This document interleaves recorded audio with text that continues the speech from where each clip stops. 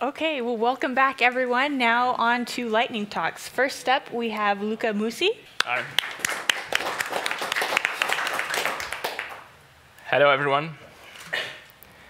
I'm Luca. I'm the author of the user account packages. And I'll give you a brief presentation about what's going on about the refactoring I'm doing to get to version 2. So who knows the user account packages? Raise your hands. Wow, good. And who's using it?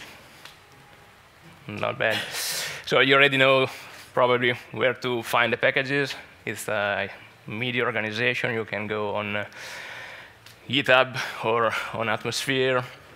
And I've set up a Trello board to try to track what's going on for version 2, which I hope to be able to, to follow myself, because I don't have that much time at the moment. And below you see the 10 packages actually published on the atmosphere. Uh, as you might know, it's a suite of packages providing um, templates for login, logout, registering, and whatsoever. So user accounts managing, management, sorry.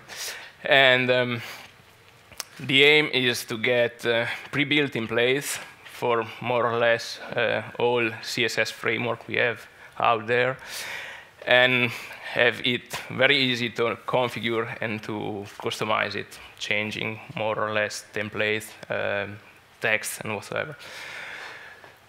The idea when I wrote it was to keep the logic separated from the templates, because the logic is always the same, and it's actually just wrapping the accounts API method provides. And um, so I ended up keeping the, the two aspects separated and write templates for the different front-end frameworks. Uh, most used are Bootstrap, uh, Semantic UI, and, and so on. There are more or less eight at the moment, plus a wrapper to animate the templates with uh, Famous, actually using uh, famous views by Gadi Cohen. So what you get is uh, one single template, basically. It's two, actually. The sign-in button you can put on an F-bar. And the main template, which is uh, AT form and will be UA form in version 2, has a number of different states. And it, use, it uses um, Blaze reactivity to display the, the parts which are needed based on the current state. So for example, you can go to sign in, put your password, then realize that you didn't register yet, change the state, and you, you're going to keep the password inside the input element, but there's no uh, session variable keeping the password. It's just the very same piece of the template which Blaze kept displayed. Then there's support for inter internationalization, different languages and it's all reactive. So you can have your user select the current language and see the templates changing languages. And uh, it's uh, easily configurable. I'm sorry, it's a bit small here. But uh, just to give you some example, you can have the labels or not. You can display placeholder. You can put in, oh sorry, this is on the sign in more stuff, and uh, that's it. So what's going on for version 2? I'm trying to find some time to refactor everything to, excuse me,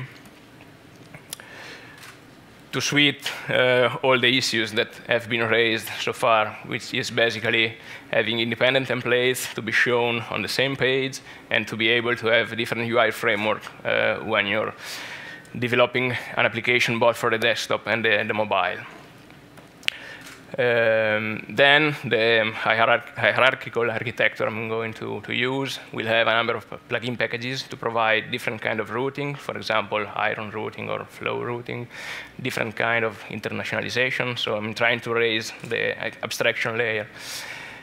And finally, a very quick demo.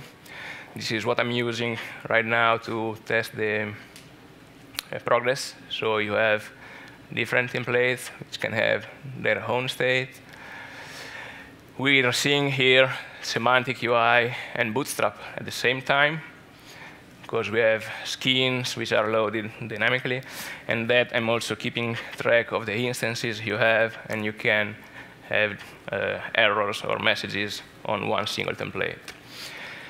That's it, and thank you for your time, and if you have questions, I'll take it.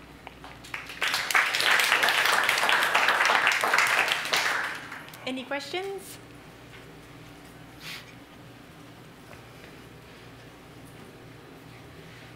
That's All it. right, thank you. Thank you again.